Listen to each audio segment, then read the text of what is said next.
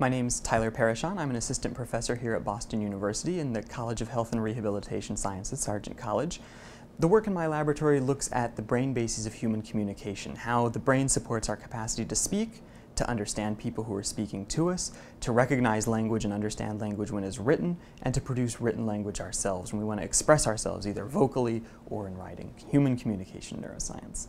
Uh, today is a very exciting time to be looking at the brain bases of human communication because we have an enormous variety of sensitive, sophisticated tools that we can bring to bear.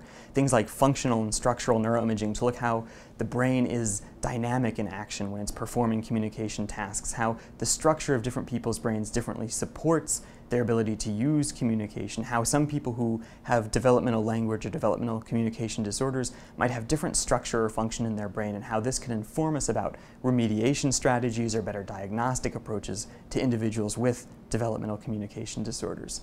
For example, one test of developmental communication disorders that's used very commonly is a test of non-word repetition. So I say a ridiculous word to you like shabbernazzle, and then you say it back to me, shabbernazzle, and that's a good test of your phonological working memory ability, your ability to take sound, piece it into its constituent units, store them, and say them back to me. And for a long time, people thought this kind of ability relied on working memory networks in the brain, things in the frontal lobe, the parietal lobe that support memory. But when we put people into the scanner and ask them to do this task, instead we see parts of the brain come online that support language, parts of the temporal lobe, Broca's area, Wernicke's area.